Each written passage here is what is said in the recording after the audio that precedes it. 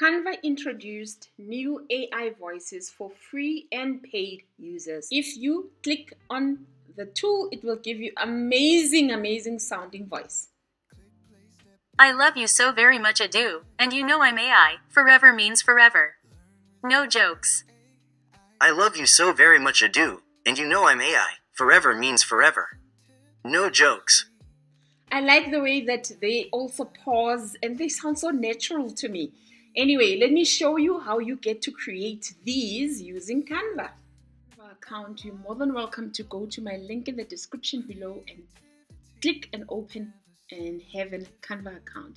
So to start your design, you can choose any of these except for whiteboard and doc because this AI voices are not available in these two.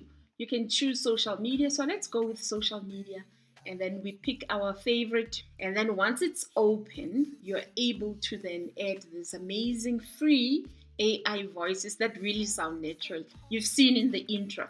So once your design is opened up you can always choose the way that you would like to access the AI voices. There's three way.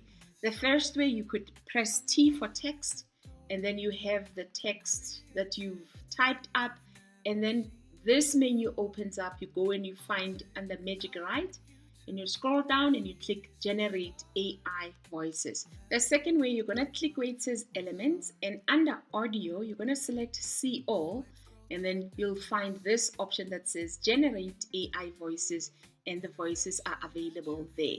If you don't want to go that route way, the other way is if you are on your editor and it's open like we've opened just now, you're going to scroll down to your menu on the side until you find the AI voices.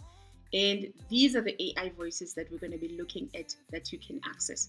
So they are quite easy. And let's someone answer the question how many characters do you get? You get a thousand characters that you can use for these AI voices. And you can add your text over here. So we can try an example and then we go and we find the voices. So they are various voices, also giving different languages as well. So we've picked now United States in America, and there's two paid options, which if you're on a paid, but first, coffee or matcha. And the free, but first, coffee or matcha. And so these two are free and these two are paid. So with English, there's UK, there's Australia, and there's um, United States. And there's two that are free from Australia, and there's two that are Australian that are also free. So you could try these and have lots of fun with them. The first thing that I did was to scroll down to see if I can find South Africa. I think Canva is still working on that because I'm South African going to stick with the English United States, but let's actually do a practical example so you can see how to actually do this. These, you can upload your own videos that you've created from other software, or you could use videos that are already on Canva, or you've created your own content and you would like to have somebody speak over that or have a voice over that. So I've uploaded this one video that I've created from one of the AI tools that I've used.